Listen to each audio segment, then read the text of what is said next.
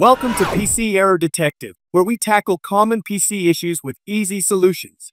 Today, we're diving into how to turn off camera in Google Chrome on Windows. If you find our content helpful, remember to hit that subscribe button for more troubleshooting tips. To begin, open your Google Chrome browser. Look to the top right corner and click on the three vertical dots to access the Chrome menu.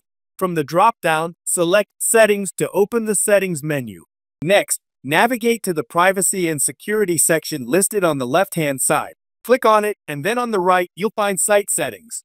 Select this option to proceed. In the Site Settings menu, scroll down until you see Camera.